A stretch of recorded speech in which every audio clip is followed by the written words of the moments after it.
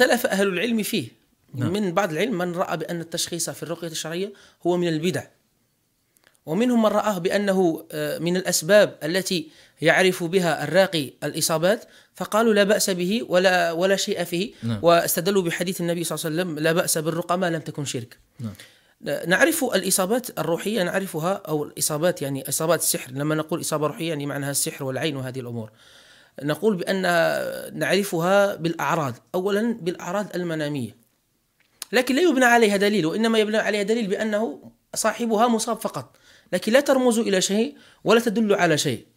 آه، حتى التشخيص في ذاته يعني هو ليس قطعي التشخيص. طبعا. التشخيص قلت فيه قاعدة ولله الحمد لله وفقني الله عز وجل فيها وقلنا بأن كل التشخيص قطعي الثبوت ظني الثبوت عفوا وليس قطعي الثبوت يعني لا يوجد يعني راقي شرعي على الكتاب والسنة ويثبت لك شيئا من الأمور الغيبية. غير مؤكد 100% طبعا الأمور الغيبية لأن الرقية الشرعية قلت كذلك قاعدة فيها بأنها تنقسم إلى قسمين.